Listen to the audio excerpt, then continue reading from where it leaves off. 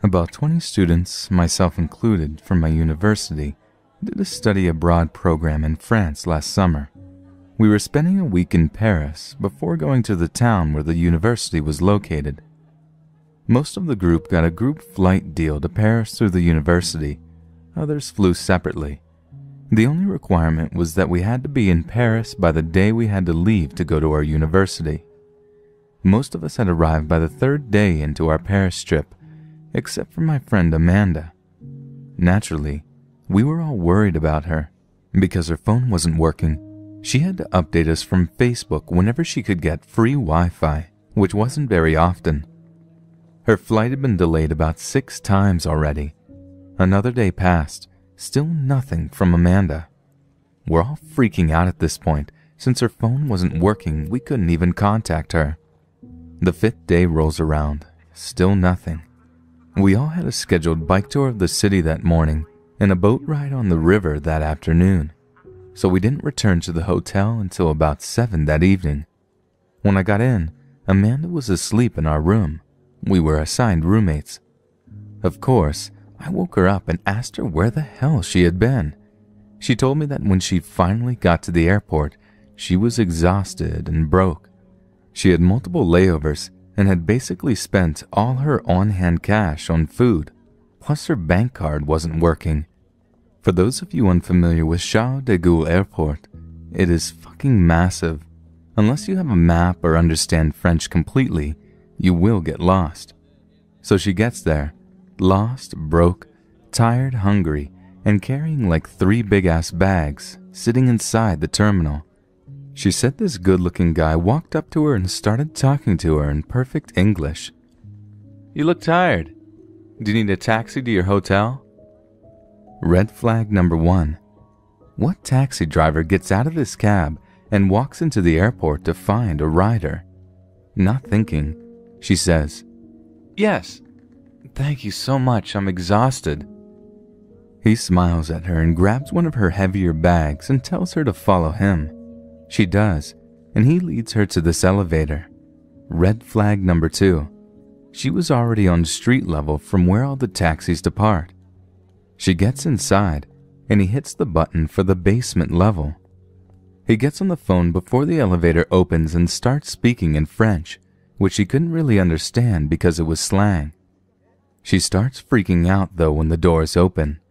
It was a service deck meant for employees of the airport or something, not for passenger parking or taxi pickup. It was damp and dark, and as she said, something literally out of a horror movie. The guy gets out of the elevator first and turns to her smiling. Allons-y. Let's go, in French. She takes a few steps and sees, in the far corner of the deck, the trunk of this green, unmarked van with no license plate open and a huge, ugly ass Middle Eastern guy step out of the driver's seat. At this point, she realizes she's in trouble, but she doesn't want to alert the smiling guy that she's about to get the fuck out of there. There's no one in sight, so screaming would be useless, but the lift door is still open. She quickly placed one of her bags in the middle of the lift entrance and told Smiley Guy that she needed her wallet that was in the bag that he was carrying. He looks at her sternly for a minute, but walks over to her and hands her the bag. She told me that she pushed him down onto the ground with the weight of the bag and got back onto the elevator as fast as she could. He got up and was bounding after her. She said, Girl, I hit every goddamn button on the elevator panel. The doors closed as soon as he reached her, and she could hear him banging on them as she was going back up to street level. She got to the taxi pickup lane and started bawling. A police officer approached her. She told him what happened and he drove her to the hotel. On the way, he told her that the men were likely linked to a sex trafficking ring and were approaching young women inside the airport who had tags on their luggage indicating they had come from the United States, assuming that American women were more trusting.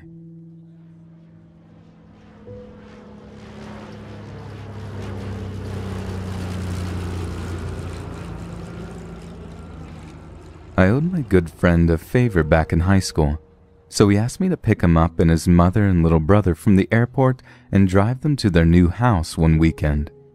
They had been out of the country for several months and were in the process of moving again, so they rented this piece of shit house in the middle of a really bad neighborhood, which I suppose just served as a place to store their crap. I wait at the airport for them as their flight gets delayed for over three hours. Around the time they land, we pack up their bags and it's almost 4 a.m. I'm exhausted, but I have to drive them to their house about 45 minutes away, then travel another hour back home. I mentally brace myself for a long trip and drank a Red Bull to give me a jolt of energy. As I'm pulling out of the airport parking lot, a small dark blue car pulls behind us. No big deal, I barely noticed it, and it stayed a ways behind. However, I noticed after I've made several wrong turns None of us had GPS, and they were giving me directions from memory, and corrected my course that this car is still cruising slowly but surely behind us. I think to myself it's a weird coincidence, but took a mental note of it. Eventually, we get closer to their neighborhood, and thus closer to a really bad part of town. We pull up to a red light, and I check my rearview mirror. Two men. One had a bigger silhouette, and the other kept shaking his head like he was trying to get a crick out of his neck. Now they have my full attention. Why the hell are they still behind me?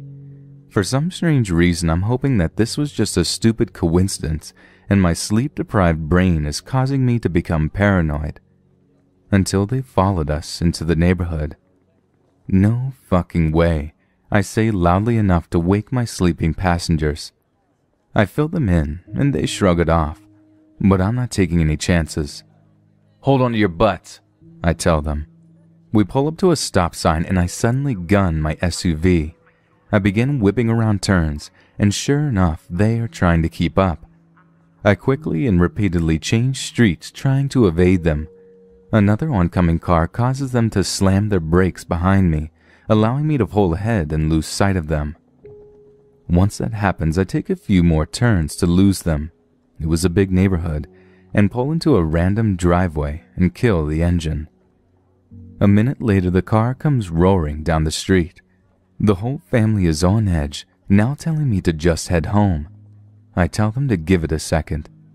The car comes roaring back down the street, faster than before. I waited until I couldn't see their lights or hear their engine before I turned mine back on and continued to our destination many pats on the back from the family. We eventually got to their house and brought all their bags in with no hassle. They were dead tired, but I decided to stay up and watch the house until it was light to make sure that those guys hadn't somehow found my car again. I left around 8 a.m., ready to be back in my bed to sleep. I don't know my friend any more favors.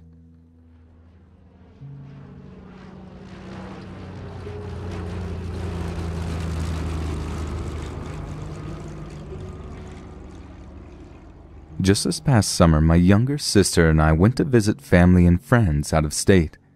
My sister at the time was 16 and I'm 18.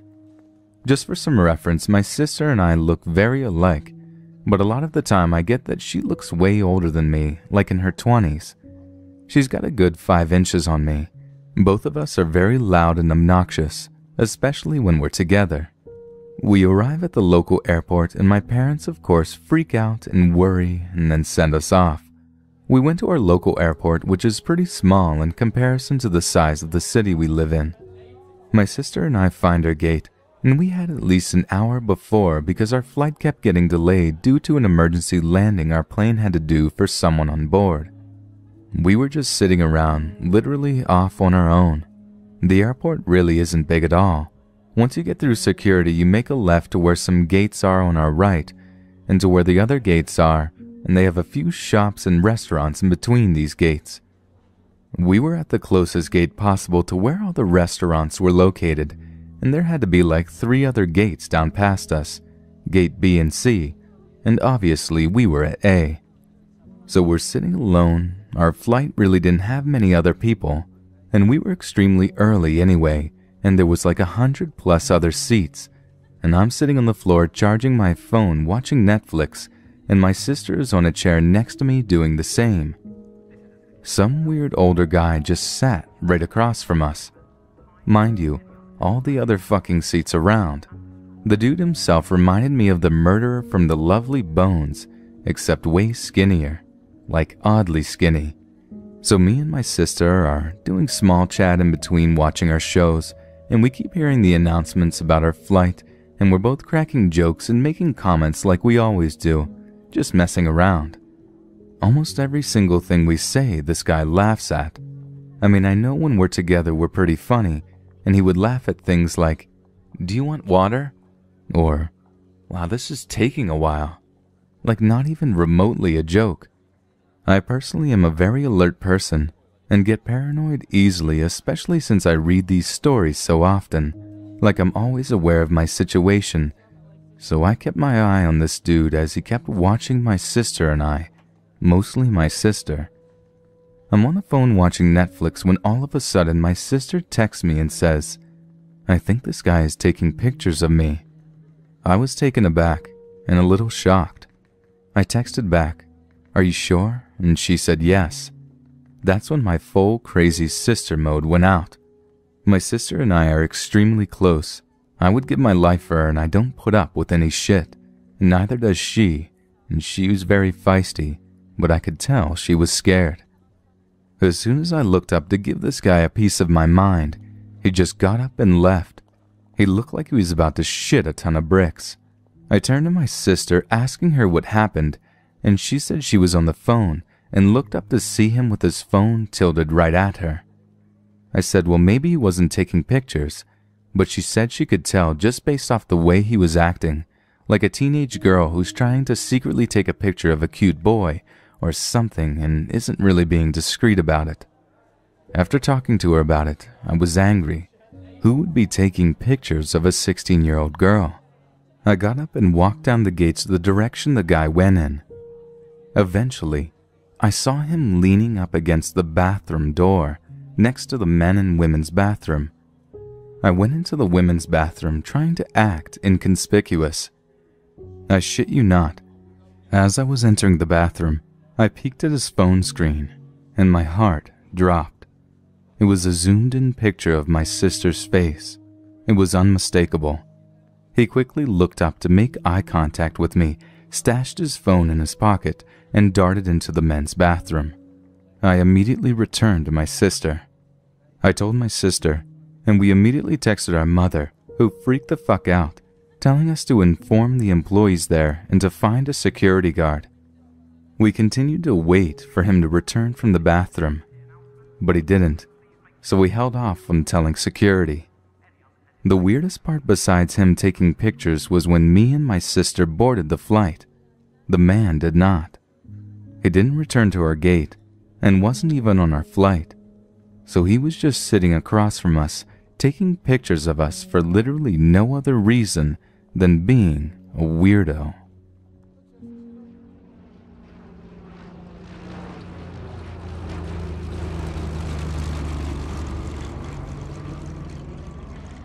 In May, I was going on a trip to Jacksonville, Florida. We had to stop in the Twin Cities. So while we, my grandparents and I, were waiting for three hours, I decided to go and get pizza and tea. Now, I'm not familiar with the Twin Cities airport, mainly because all the times I've been there, I was fairly young.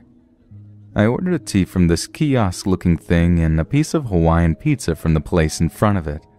I sat down to eat and got out my phone and decided to check my email and go on Tumblr. About 10 minutes afterwards, some guy who sort of looked like Shaggy from the live action Scooby Doo movie comes and sits down in the seat in front of me, just staring at me. I told him to mind his own business, and he just said, I, I just can't help it. You're so beautiful, and I would love to show you around. I told him that I was a minor his response? No one has to find out. Come on. I have a dog you can have.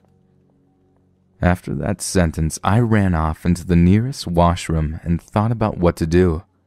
Maybe he won't realize I ran into the washroom, I thought to myself. I can just go tell my grandma about what happened, and she'll ruin him. Needless to say, I thought wrong. I walked out of the washroom, only to be greeted with that nasty hippie face of his. Where did you go? Come on, Mom's worried about you.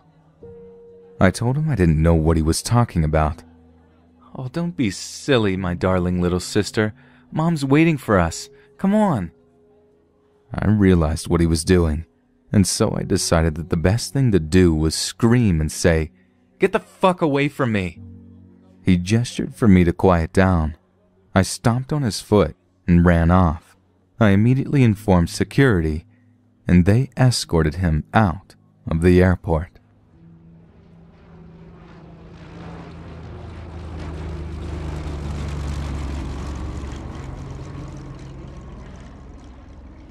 So I'm a 20 year old male and I flew to India last November to meet a few family members.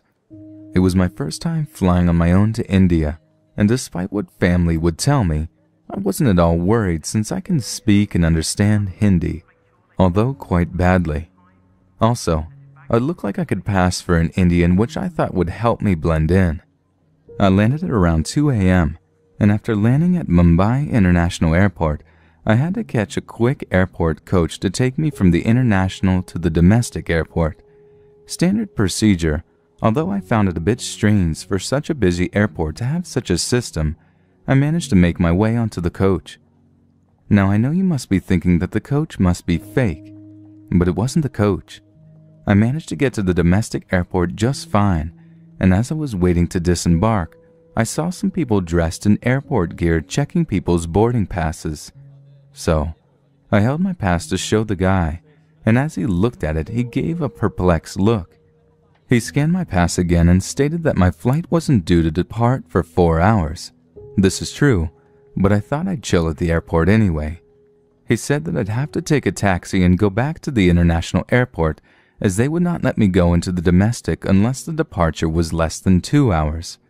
I obviously wasn't going to pay for a taxi back to the airport and didn't understand why the airport wouldn't let me in. However, after thinking about all the weird procedures Indian airports have had so far, such as having to collect my bags at Mumbai airport and check them back in the same place, disorganized queuing everywhere, get a damn coach to and from the same airport, and the dim lights of the domestic terminal, I thought this may be another one of its irritating quirks. I agreed with the guy and walked with him to the car park. He was asking me where I was from and what I was doing in India. Just some friendly banter, I thought. But I was too tired and shy to even attempt to speak to him in Hindi. I kept telling him I'm not paying for the taxi and that I have no money on me just to make sure he wasn't going to scam me. He kept nodding and took me to the taxi he said I should take. Now, from watching Bollywood films, I know how Mumbai taxis look. They're yellow and black and are a distinctive model. This taxi was a normal silver colored car with not even an ounce of credibility to pass as a taxi in Mumbai. Surrounding the taxi were a bunch of eerie looking guys, all looking at me with a straight face. Feeling a bit awry, I backed away a bit while they were talking to one another. Thankfully, the guy who led me to them didn't know I could speak Hindi and they were saying stuff like, He's some sweet goods. We'll have fun with him. You brought a good one. I'll be sure not to let him go. Aghast, I started sweating and shaking. I know people back home have said I act a bit camp and apparently unintentionally act flirtatious, but I had no idea that a bunch of Indian guys would have any interest in me apart from maybe getting some money. Visibly shaken, I was completely speechless and had no idea how to get out of the situation. The guy had my boarding pass and the car door was open. Then I had an idea. I said to the guy in English, Can I just quickly buy a coffee? I've been parched for so long. He stated that the police at the door of the airport wouldn't let me in no matter how much I tried, and the best thing was to get into the car. I insisted that I just try to get in as I was really thirsty and my voice started croaking, out of fear originally, but thankfully it could be passed as thirst. His friends told him to give me my boarding pass back and let me try it out. He gave it back and made me promise I'd come back after the coffee. I obviously obliged and gave him a cute smile as I snatched the pass and power walked it to the terminal. Of course, I didn't want to act too alarmed as they could have easily ran up to me and tackled me. In addition, the police could have been in cohorts with them and refuse me access. Thank you, Indian News.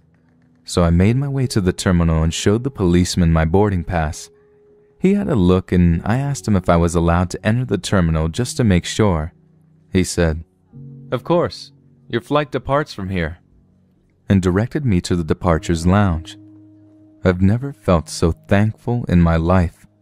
I breathed a sigh of relief as I hightailed it up to the escalator and passed the security check to make sure the gang wouldn't be let in. It was about 4 a.m. at this point, and all I could think of was what would have happened if I couldn't understand Hindi and went into the taxi. To this day, I shudder at the thought. My only regret is not informing the police when I was let in. I think nerves did get the better of me, and I felt distrust towards everyone. Plus, Indian police officers wouldn't have done much to help the situation, probably would have told me to keep calm and carry on.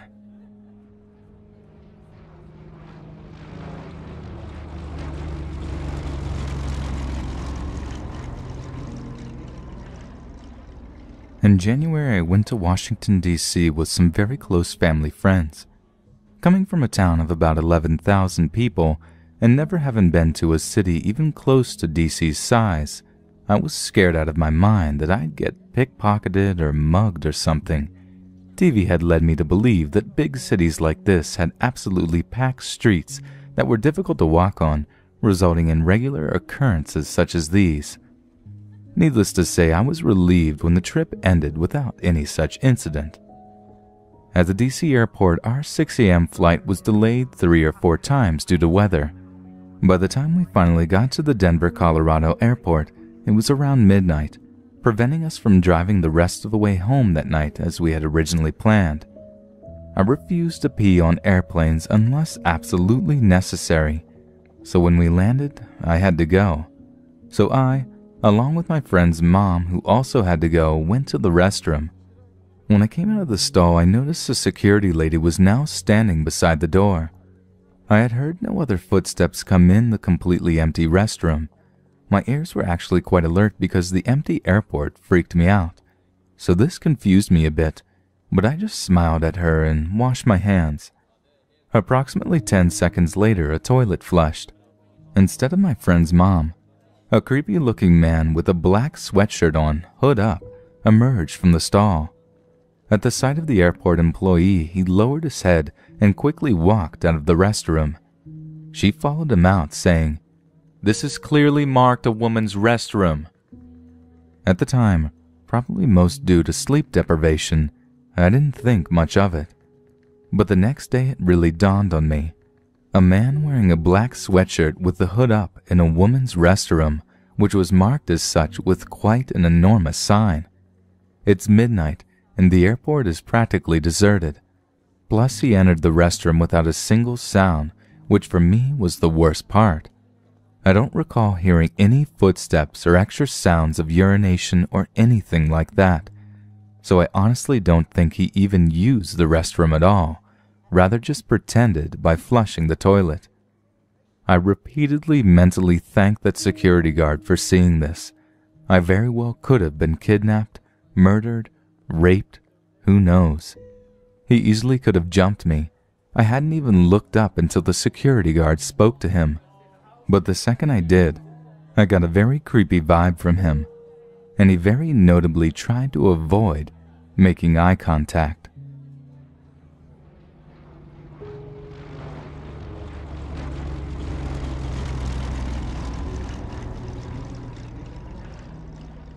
I have to preface this story by saying I was a really smart kid when I was little. At 18 months, I knew every word to the bare necessities from the Jungle Book and would perform it for my mom's co-workers. I don't think anyone ever taught me what to do in a situation with a stranger, just not to talk to them. I also have to say that when I was little, around 3 to 4, my mom let me cut my hair really short, like a boy's, and everyone mistook me for one because I refused to wear anything girly. Also, like small children, I wasn't a good listener. For some reason, my grandma took me to the airport with her one day when she was watching me. I can't remember if my parents had gone out of town or if we were picking up someone else and she had to bring me because it was her day to watch me while my parents were at work. Regardless, this was before security in the airports were super tight, so we were headed to a gate to pick whoever it was up. Or maybe we were just getting out in the main airport and it seemed like we were headed to a gate because I was so much smaller, so everything seemed bigger. Forgive the lack of memory, I was little. I do distinctly remember, however, that my grandma scolded me for running ahead of her and told me not to do it again. Five minutes later, I'm at it again. I ran down a small flight of stairs, maybe three or four steps at most, and was suddenly swooped up by a very large man. I remembered that he smelled funny and that he had a really scraggly beard and blonde hair and really creepy eyes. He then starts to rush off with me, and I remember being very calm about the whole thing because, in my mind, my grandma was right there and she wouldn't let anyone hurt me. Well, she came tearing after this guy, faster than I've ever seen her move, and she's yelling at him to put me down and whacking at him with her purse, and he said to her, Lady, chill. This is my son. The kid you're looking for must have ran off. That's when little old me pipes up and says, I am not a boy, and you are not my daddy. Now put me down. The guy looked shocked out of his mind and slightly repulsed and promptly put me down and ran off. Now, my whole family has talked this story to death. Is it possible this guy really thought I was his son? Was he just someone who made a mistake? Or was he a pedophile who thought he had scooped up a little boy? As a whole, we tend to lean toward pedophile, mostly because of his behavior. He didn't say a word to me, just picked me up and tried to hurry off. And then when it became clear I was a girl, he hightailed it out of there as fast as he could. If he was just a man who made a simple mistake, he probably would have stuck around and apologized to my grandma for frightening her and for snatching me.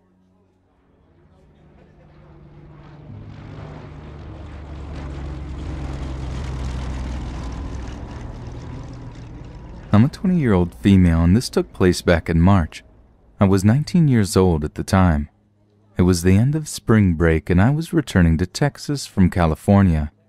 I had just spent my vacation with my sister who lives in San Francisco. Every college kid counts down the days until spring break, and my vacation had gone rather well.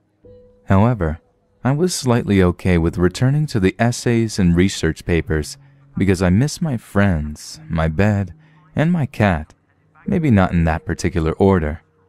I was flying alone, something I don't like doing for multiple reasons, and had only one layover in Dallas. I don't like traveling alone because I've had some bad experiences, and I happen to look a lot younger than 20.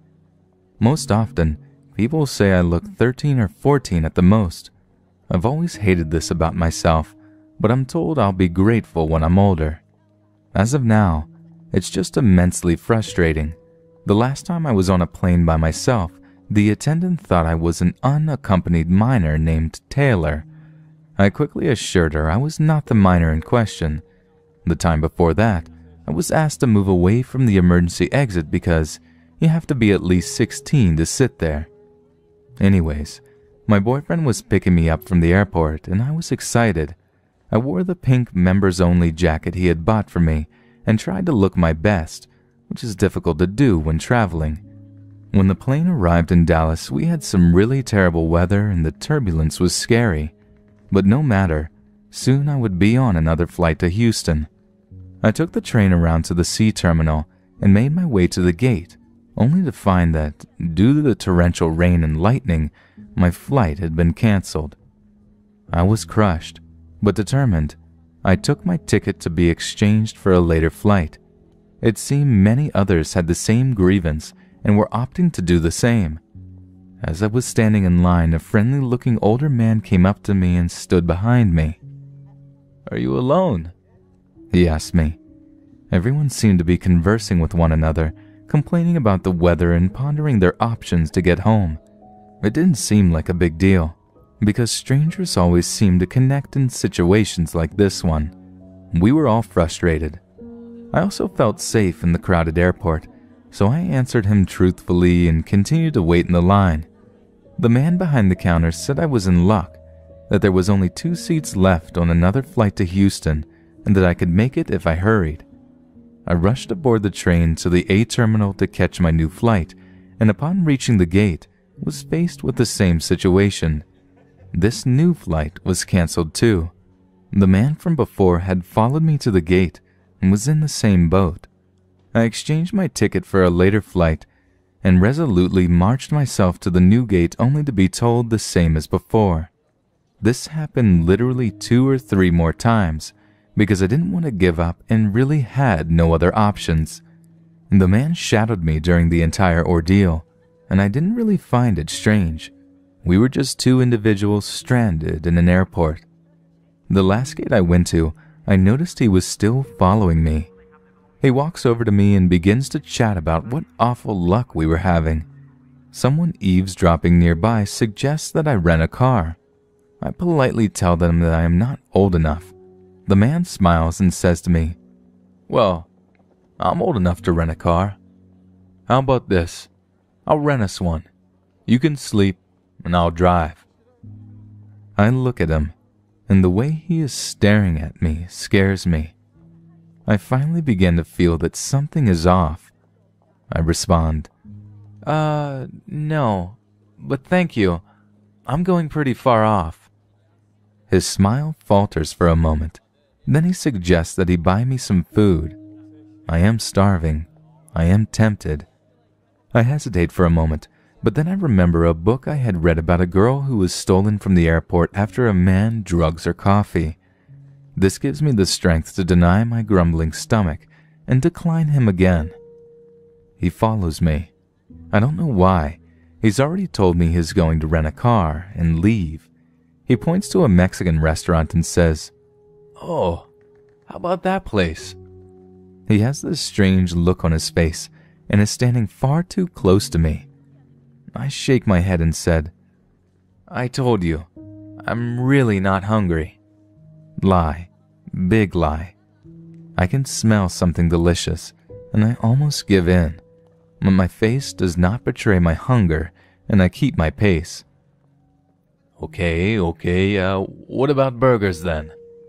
He looks a bit annoyed. This guy doesn't give up easy. I ignore him. This causes him to glare at me angrily and then stalk away. I breathe a sigh of relief. I call my sister to tell her about him, not in a catty sort of way, just a, wow, that guy was persistent kind of thing. I set him to a chair to think about my options. I feel pretty alone and worried. My latest ticket had me leaving at around midnight, and it was 9 p.m. at this point. I had been in the airport since 5 p.m. If this last flight didn't work out, I had no clue what I would do. I had no money for a hotel and didn't fancy sleeping in a chair. The last time I fell asleep in public, on a train in France, a lady attempted to steal my backpack. But that's another story. I look up about 30 minutes later to see the same man walking towards me. I tuck my legs up in my chair nervously and pretend to play on my phone. Hey there. Still here? He asks. He seems to have cooled down. Just stare at him. He clears his throat and tries again. Mm, so I was thinking you could come stay at my aunt's house for the night. With me. That's where I'm staying tonight. It would be no problem. You don't want to be in this airport all night, all alone. I shake my head and say, No, I'm fine. Then turn my attention back to my phone. I didn't even make eye contact. I felt really uncomfortable. He tries to convince me, and I have to say no firmly several more times. He looks angry, really angry. His hands are clenched and his smile is obviously fake. It looks as if he will shatter his teeth if he clenches his jaw any tighter. I wonder to myself why he hasn't left the airport yet. Then I notice that his luggage is no longer with him. He was rolling it behind him, and now he isn't. Where would he have put it if he hadn't left yet? And so much time has passed. Why is he back here? As I'm thinking all of this, he is just standing there, staring. After what feels like forever, he storms off again. I feel so anxious because of him that I grab my things and move to a different gate to wait. My phone was dying, and I didn't want to be without it, so to charge it, I have to plug it into the outlet in the floor. I curled up in the aisle between the chairs to wait. My sister called about an hour later, and I was telling her about how creepy the dark weather looked outside when I see him again, walking around, glancing here and there in search of me. I hunched down even further, but my pink jacket was like a beacon. He locked eyes at me, and I looked down. My sister said to stay on the phone, so I did. Well, there you are, he says, not even acknowledging that I am in the middle of a phone call. I continue talking to my sister.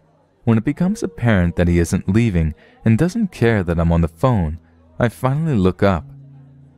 So you're still here. Look, you need to come with me. You can stay with me at my grandparents' tonight. They would love to have you. They don't mind me bringing you at all. Just come with me. I got chills. I don't know why, but something in his eyes told me he was lying, lying through those shiny white teeth of his. You said you were staying with your aunt. His face dropped. It went from cool and collected to something else. Not even anger this time, and not defeat either. Almost like amusement. Something like the cat that ate the canary. He shrugs his shoulders like, I tried, but we both recognized that he was caught in his lie. The entire time, my sister is saying, hello, repeatedly, but I was sort of shocked by how indifferent he was to me catching on to him.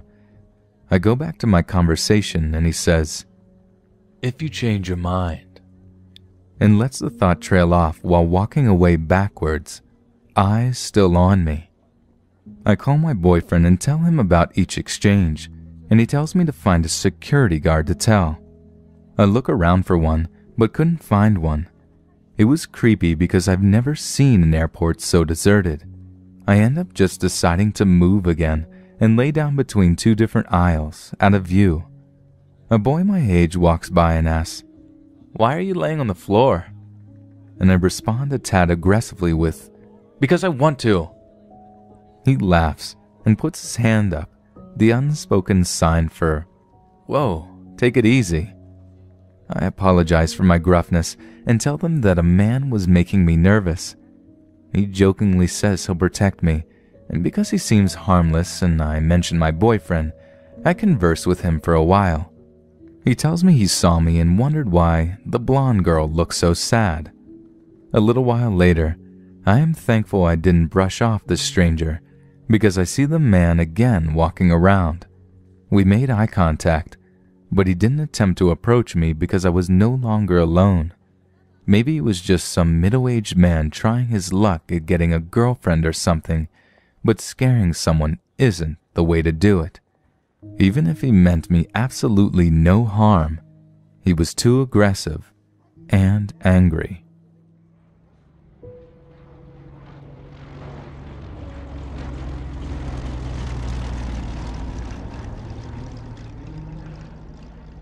The fall semester of my junior year of university was spent studying abroad with my best friend in Florence.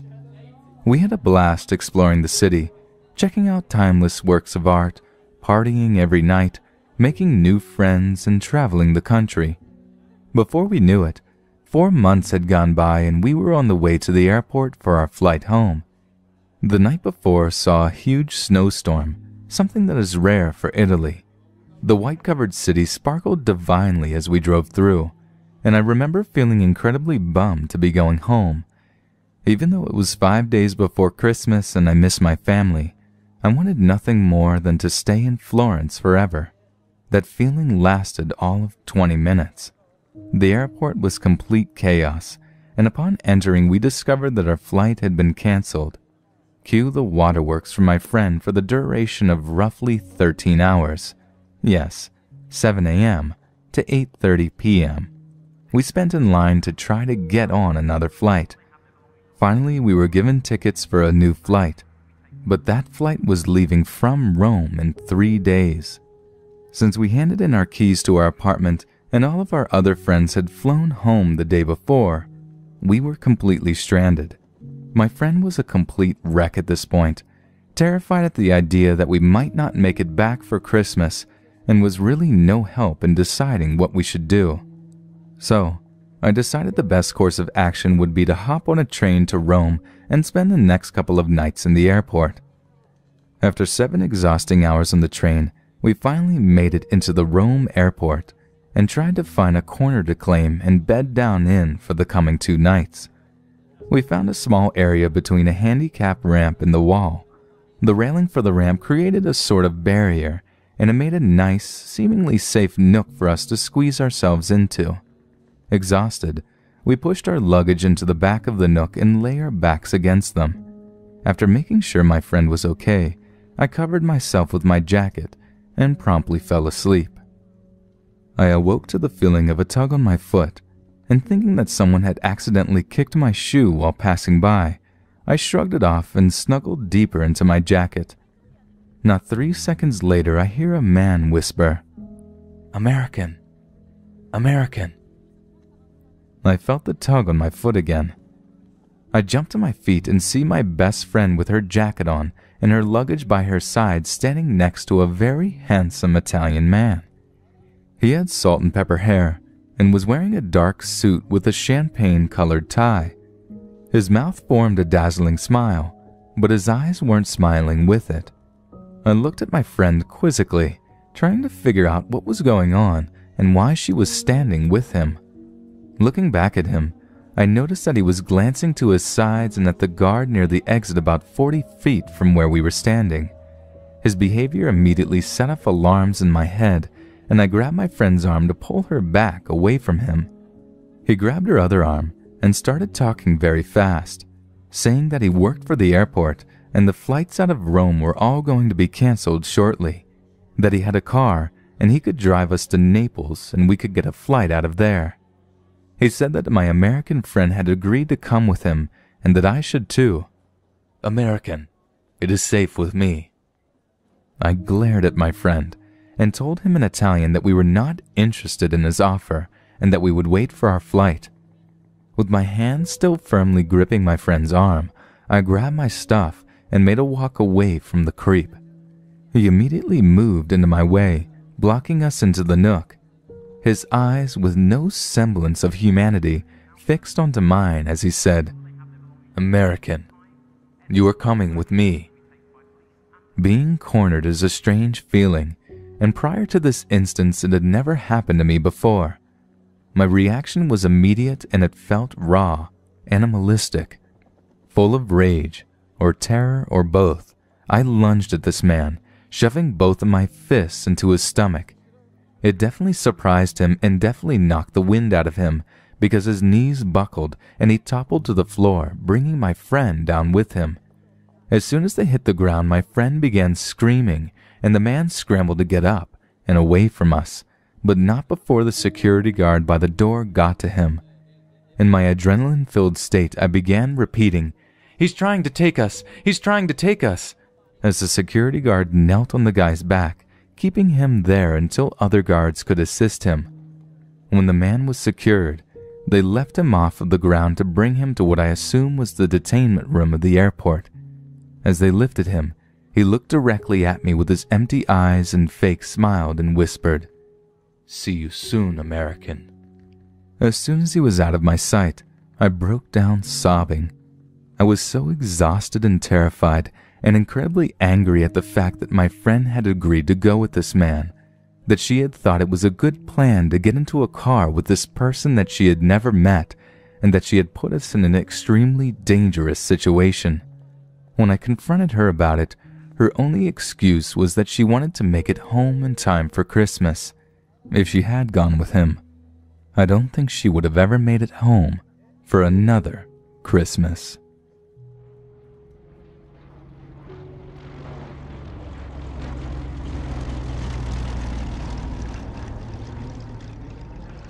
I was living in Austin, Texas at the time, but had flown out to Los Angeles for the weekend.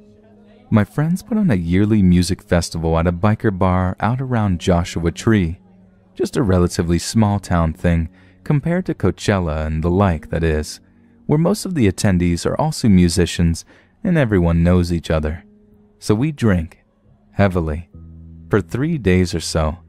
By the end of it, you tend to need at least a week to recover so I was flying back to Texas, wildly hungover and miserable and completely drained.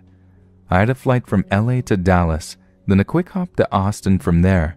I was seated by the window, on the left side where there were only two seats. Seated in the aisle seat was a middle aged woman, totally unremarkable, just your average Texan mom. We made polite small talk for a few minutes, but I really felt like doing nothing but curling up in a ball against the wall and passing out. So shortly after takeoff, I put in my headphones and start watching a movie on my iPod until I fell asleep.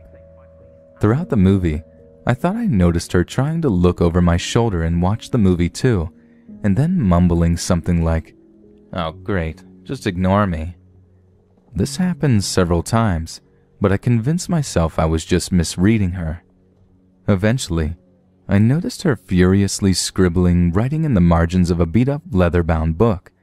I kept peeking over to see it, seeing that the entire book was filled with unintelligible chicken scratch in pretty much every bit of available space in the margins. I also noticed it was an Alcoholics Anonymous book. Whatever, I thought, just someone with some issues.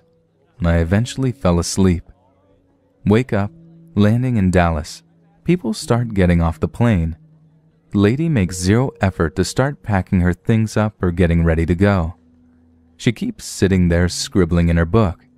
As I said, I am wildly hungover and kind of cranky and have no patience for anything that's prolonging the time I have to spend on an airplane. It gets to our row, and it's her turn to move into the aisle, and again she doesn't move at all. The rows behind us now start to leave. I finally say, Hey, I've got a connection to catch, so I have to get moving here. Gesturing towards the aisle and standing up, she laughs, shakes her head, looks at me, and goes, Oh, no, no. You aren't going anywhere. I was so confused. My mind was now at its sharpest that day. I responded with, I assure you, I am going somewhere. I'm getting off this plane now. She shook her head again and said, But you promised me you'd never leave me. Now, other people who are leaving the plane are looking at this exchange also baffled, and I make eye contact with a few people giving that, can you believe this, look, before edging, shoving my way out of the row, saying, Nope, nope, I certainly never said that. I'm leaving now. As I edge past, she sighed and said, Well, I guess I gotta go with you then.